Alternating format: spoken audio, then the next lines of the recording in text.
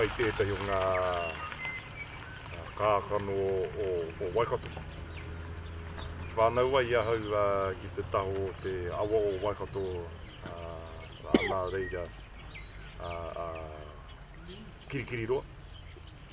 Uh,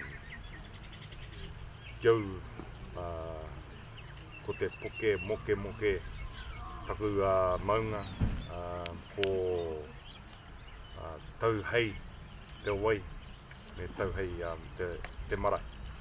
Uh, e noho mai nei uh, tētahi o Ngāti Wairere. Um, my name is uh, Ihi Heke. I'm from Waikato.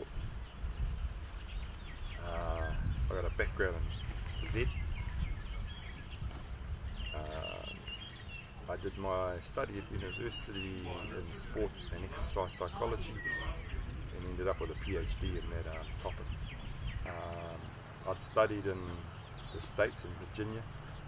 Um, I'd done a short stint in Canada. Uh, I'd worked in Japan and I'd recently returned from the Middle East to a Māori health conference that was being held in Gisborne, which must have been in 2006. Uh, and I met Paratene Ngata. I knew of him and I'd met him before, uh, but he'd just come out of um, giving a seminar there. And I was standing outside the room and uh, he approached me, asked me who I was, what I was doing. And I said, well, I'm just visiting.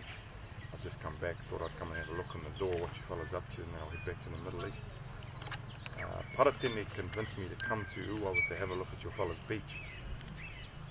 And uh, it wasn't long after I arrived there that he suggested that I should come and work for Ngāti Porou Hauora and be um, located or relocated back to Uawa.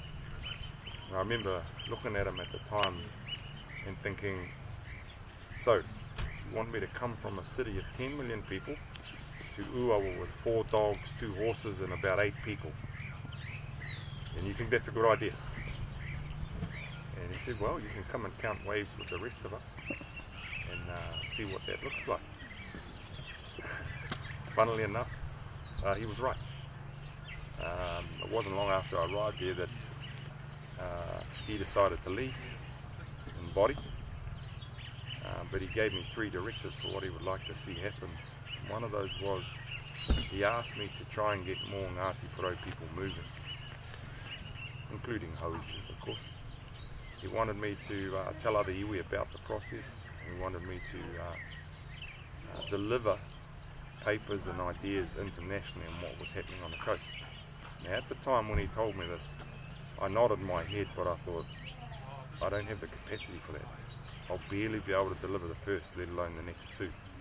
But what's happened uh, since his passing, which has been, you know, maybe six years ago now, more, maybe more, seven, um, all three of those things happened.